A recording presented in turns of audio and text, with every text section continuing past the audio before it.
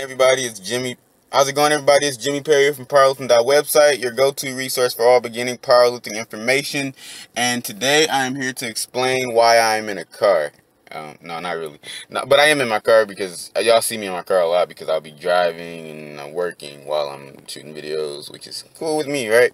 And yeah, but Tono, the really though, the purpose of today's video or this video is to discuss why powerlifting belts are allowed in raw lifting, right? Because you would think that it's, it's in a piece of equipment, but it's really, it's like it's not really equipment in the sense that in the way that they're talking about equipment.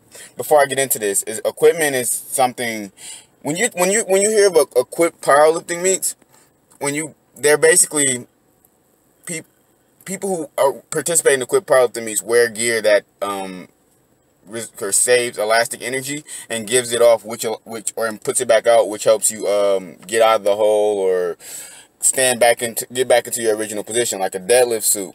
That saves it's, it's made out of elastic material and it helps you get out of the hole or stand back upright. Squat suit same thing. It helps you stand back upright get out of the hole in the squat. Bench shirt helps you get out of the hole when you're pressing the weight back up. Same exact concept. Um now why exactly are powerlifting belts used? Or in raw meets most i don't think you'll ever i've never heard of a, a federation that doesn't allow uh powerlifting belts and the reason for that is a powerlifting belt doesn't it doesn't save elastic energy. In, in fact, it just it helps you brace your core and keeps you safe. That's like the best way for me to put that. Like it doesn't it's not gonna uh, add any crazy weight to your deadlift in reality. It's just gonna make sure that you don't slip a disc or get a hernia.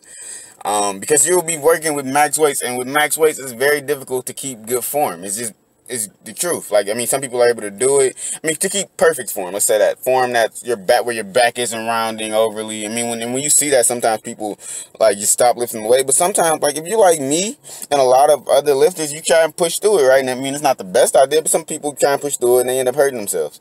So that's really why probably you'll see powerlifting belts allow their raw competitions because it's it's not there to help you like it's not there to help you lift more weight it makes some people may be able to lift more weight um, with the uh, powerlifting belt on, but that's probably because they're able to stay tighter and they're saving energy. Where like they're all their energy is going into the movement and nothing's slipping out. Whereas when you're not when you're not wearing a powerlifting belt, your back may get rounded, you get loose, and you're just not moving efficiently. The muscles aren't coordinated. Muscles aren't coordinating properly, and you know you end up uh, wasting wasting energy. You don't want to do that. Uh, so in the post, I'm just going over this briefly, but in the post, um, it goes over why they're allowed at raw competitions, which is what I just said. Um, and that's because to keep you safe. And then it also goes over the legal size of a powerlifting belt. That just is a bit of extra information. So when you go shopping for a powerlifting belt, you know exactly what to look for.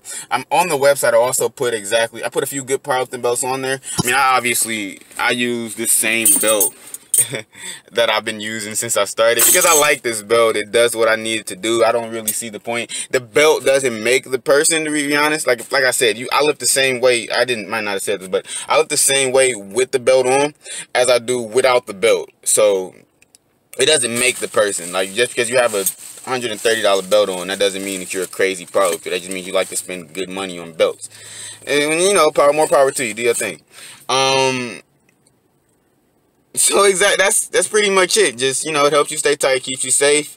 Uh you'll be seeing more videos from me in the future. And if you like this content give it a like and a thumbs up. And don't forget to subscribe to the channel because more uh, videos will be coming out on a regular basis.